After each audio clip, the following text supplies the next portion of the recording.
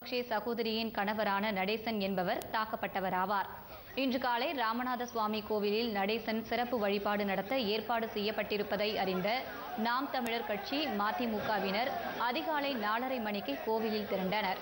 இதனிடையே காலை ஏழு மணி அளவில் ராமேஸ்வரம் மேலவாசல் தெருவில் உள்ள மராட்டியரான ஸ்ரீராம் ஐயர் என்பவரின் வீட்டில் நடேசன் பூஜை செய்வதாக தெரிய வந்தது இதையடுத்து நாம் தமிழர் கட்சியினர் மற்றும் மதிமுகவினர் அந்த வீட்டை முற்றுகையிட்டனர். அப்போது வெளியே வந்த நடேசனை சரமாரியாக தாக்கினர்.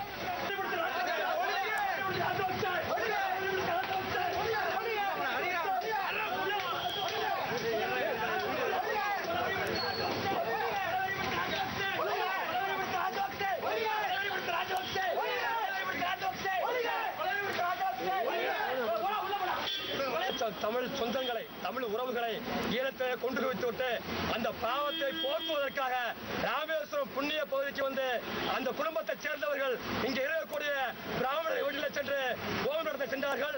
அதை உடனடியாக ராமேஸ்வரம் பகுதியில் இருக்கக்கூடிய தமிழ் உறவாளர்கள் அவரை அடித்து விரட்டியுள்ளோம். அடித்தாங்க இயலாமல் வீட்டுக்குள் ஓடிய நடேசனை ஆர்ப்பாட்டக்காரர்கள் மீண்டும் தாக்கினர். இரண்டு லட்சம் தமிழர்களை சுட்டுக் கொன்ற ராஜபக்சேயின் உறவினரை நாட்டை விட்டு வெளியேற்றுமாறும் மத்திய அரசை கண்டித்தும் அவர்கள் முழக்கங்களை எழுப்பினர் வெளியேற்று ராஜபக்ச குடும்பத்தை ராஜபக்ச குடும்பத்தை உடனடியாக வெளியேற்று தொப்புள் கொடி உறவான ஈழத்தமிழர்களை இரண்டு லட்சம் ஈழத்தமிழர்களை படுகொலை செய்துவிட்டு இன்றைக்கு அந்த பாபத்தை போக்குவதற்கு தமிழகத்தின் புண்ணிய பூமியா ராமேஸ்வரத்திற்கு இங்கே ராஜபக்சேனுடைய மைத்திரன் வந்திருக்கின்றான். அவனை இந்த மத்திய அரசும் மாநில அரசும் பாதுகாக்கின்றன. நாங்கள் எங்களுடைய உணர்வுகளை வெளிப்படுத்துகின்றோம்.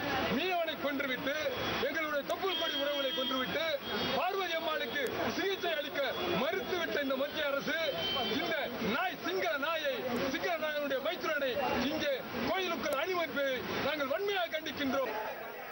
ராஜபக்சே உறவினரை தாக்கியதாக மதிமுக மற்றும் நாம் தமிழர் கட்சியினர் மீது வழக்கு பதிவு செய்துள்ள போலீசார். இது தொடர்பாக நான்கு பேரை பிடித்து விசாரித்து வருகின்றனர். ராஜபக்சே உறவினருக்கு பூஜை செய்து தந்த தம்மை தாக்கியதாக கோயில் அர்ச்சகரும் அளித்த புகாரை அடுத்து மதிமுக மற்றும் நாம் தமிழர் கட்சியினர் மீது வழக்கு பதிவு செய்துள்ளனர்.